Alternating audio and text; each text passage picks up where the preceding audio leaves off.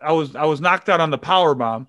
Um, yeah. and then it was supposed to be three, but he felt that I was in danger, so he just let me go. Like he might he might have yeah. saved my life if we're being 100 percent honest. You know what I mean? At that point.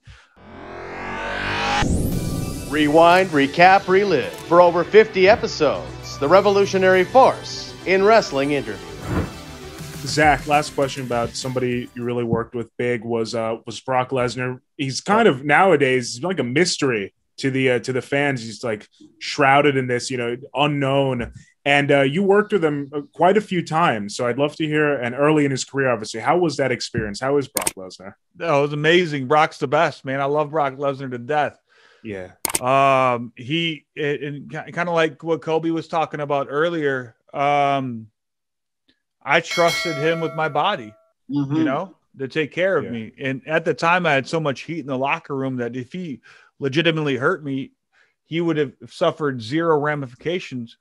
There would been, there, there would have been zero ramifications from that. And um, and I wanted to create something special, and I wanted to create a moment, and I wanted to amp up the level of violence because I I always liked those big guy versus little guy matches. I always liked the like the uniqueness uh, of no, nobody wants to be the third match on the card that they forget about the second the main event starts. You know, we want to create special moments that'll last forever.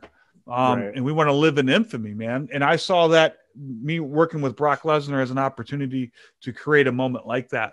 Um, and so I, I, just said, whatever, man, let's just let's let's send it. You know what I mean? Like let's let's yeah. let's do something nobody's ever seen before in terms of the level of violence and Brock was super appreciative of that because he he needed me at that moment to get over as a heel. He had just turned heel, but he was still getting cheered. And uh, so for, for, for what WWE wanted Brock, the angle they wanted Brock to get to, they needed him to be a heel.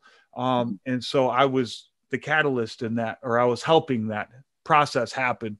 Um, and uh, and we just we went and it, it, got super crazy and violent and bloody and all of that and he didn't hurt me at all in fact uh, one moment in, in, our match he was supposed to give me three power bombs like a triple power bomb where yeah. he holds on and then after uh, two he felt um, i got knocked out like he felt my body go limp for a second i, I okay. hit the back of my head on the mat you did.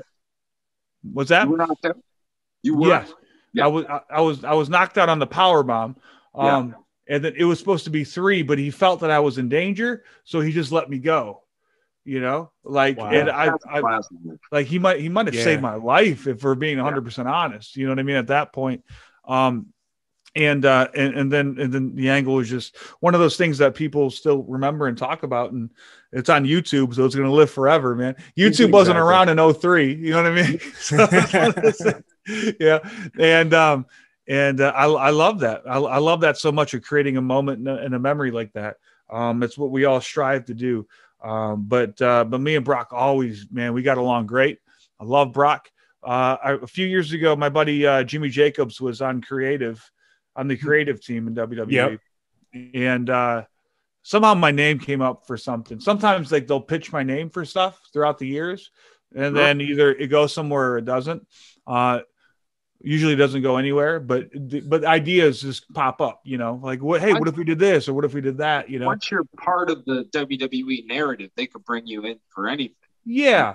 Yeah, yeah it's like what, what, what oh man zach might be good in this role to get baron yeah. corbin over for this or whatever it is you know? So my name came up and uh, i think it was to do something with brock. Anyway they're, they're talking to brock about it and then brock pulled jimmy aside and said um, he goes, "Hey, are you friends with Zach?" And uh, Jimmy's like, "Yeah, he's one of my one of my best friends or whatever." And then uh, Brock said, "Hey, tell him I said hi, and I love him, and thank you for what he did for wow. me all those years ago." Wow. You know, that's, and I was just, I mean, it just warmed my heart. You know what I mean? To hear hear that gives and, me uh, goosebumps. Uh, yeah, that's so it. Really does, man. And I, I love, I love Brock to death, man. No question. Yeah, that's awesome. From just uh, the fan in me, he actually is my favorite wrestler, right? So that's I love. That oh, 100 percent. That's so cool to hear. Rewind, recap, relive for over 50 episodes. The Revolutionary Force in Wrestling Interview.